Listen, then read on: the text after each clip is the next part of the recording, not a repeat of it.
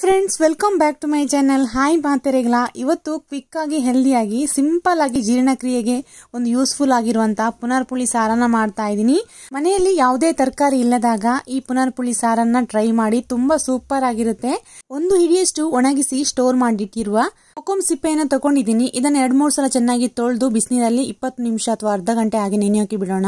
ಇದಕ್ಕೆ ಇವಾಗ ಮಸಾಲೆ ರೆಡಿ ಮಾಡ್ಕೊಳ್ಳೋಣ. ಮೂರು ಕೆಂಪು ಮೆಣಸು ಹಾಗೆ ಧನಿಯಾ, ಜೀರಿಗೆ, ಮೆಂತೆ ಪೆಪ್ಪರ್ ಮೂರು ಎಸಳು ಬೆಳ್ಳುಳ್ಳಿನ ಡ್ರೈ ರೋಸ್ಟ್ ಮಾಡಿ ಪೌಡರ್ ಮಾಡ್ಕೊಂಡಿದ್ದೀನಿ. ಇವಾಗ ಬಾಣಲೆನ ಬಿಸಿ ಮಾಡಿ ಅದಕ್ಕೆ ಎರಡು ಸ್ಪೂನ್ ಅಷ್ಟು ತೆಂಗಿನೆಣ್ಣೆ, ಸಾಸಿವೆ, ಬೆಳ್ಳುಳ್ಳಿ, ಕರಿಬೇವು, ಕೆಂಪು ಮೆಣಸನ್ನ ಒಗ್ಗರಣೆ ರೆಡಿ ಮಾಡ್ಕೊಂಡಿದ್ದೀನಿ. ಒಂದು ಈರುಳ್ಳಿ, ಹಸಿ ಮೆಣಸನ್ನ ಕಟ್ ಮಾಡಿ ಸ್ವಲ್ಪ ಲೈಟ್ ಆಗಿ ಫ್ರೈ ಮಾಡ್ಕೊಂಡಿದ್ದೀನಿ. ಇವಾಗ ನೆನೆಸಿಟ್ಟಿರುವಂತಹ ಕೊಕೊಮನ್ನ ಹಾಕೊಳ್ಳೋಣ. ಗ್ರೈಂಡ್ ಮಾಡ್ಕೊಂಡಿರುವ ಡ್ರೈ ಮಸಾಲಾ ಪೌಡರ್ನ ಹಾಕೊಂಡು ಸ್ವಲ್ಪ ನೀರನ್ನ ಸೇರಿಸ್ಕೊಂಡು ಒಂದ್ಸಲ ಚೆನ್ನಾಗಿ ಮಿಕ್ಸ್ ಮಾಡ್ಕೊಳ್ಳೋಣ. ಚೆನ್ನಾಗಿ ಮಿಕ್ಸ್ ಮಾಡ್ಕೊಂಡು ಆದ್ಮೇಲೆ ಇವಾಗ ಇದಕ್ಕೆ ರುಚಿಗೆ ತಕ್ಕಷ್ಟು ಉಪ್ಪನ್ನ ಹಾಕೊಳ್ತಾ ಇದ್ದೀನಿ. ಒಂದ್ಸಲ ಮಿಕ್ಸ್ ಮಾಡ್ಕೊಂಡು ಆದ್ಮೇಲೆ ಇನ್ನೂ ಸ್ವಲ್ಪ ನೀರನ್ನ ಸೇರಿಸ್ಕೊಳ್ತಾ ಇದ್ದೀನಿ. ಮುಚ್ಚಳವನ್ನ ಮುಚ್ಚಿಟ್ಟು ಚೆನ್ನಾಗಿ ಇದನ್ನ ಕುದಿಸ್ಬೇಕು. ನೋಡಿ, ಚೆನ್ನಾಗಿ ಕುದೀತಾ ಇದೆ. ಈ ಟೈಮಲ್ಲಿ ಇದಕ್ಕೆ ಸ್ವಲ್ಪ ಬೆಲ್ಲವನ್ನ ಸೇರಿಸ್ಕೊಂಡು ಚೆನ್ನಾಗಿ ಮಿಕ್ಸ್ ಮಾಡ್ಕೊಳ್ಳೋಣ. ಬೆಲ್ಲ ಪೂರ್ತಿಯಾಗಿ ಕರಗಿದ್ಮೇಲೆ ನೋಡಿ, ಇವಾಗ ಕುದೀತಾ ಇದೆ. ಇವಾಗ ಸ್ವಲ್ಪ ಕೊತ್ತಂಬರಿ ಸೊಪ್ಪನ್ನ ಹಾಕೊಂಡು ಬಿಸಿ ಬಿಸಿ ಅನ್ನದ ಜೊತೆ ಇದನ್ನ ಸರ್ವ್ ಮಾಡಬೇಕು. ಅಥವಾ ಹಾಗೆ ಕೂಡ ಇದನ್ನ ಕುಡಿಬಹುದು ತುಂಬಾ ಸೂಪರ್ ಆಗಿರುತ್ತೆ. ನಾನು ಇದನ್ನ ಕುಚಲಕ್ಕಿ ಅನ್ನದ ಜೊತೆ ಸರ್ವ್ ಮಾಡ್ತಾ ಇದ್ದೀನಿ.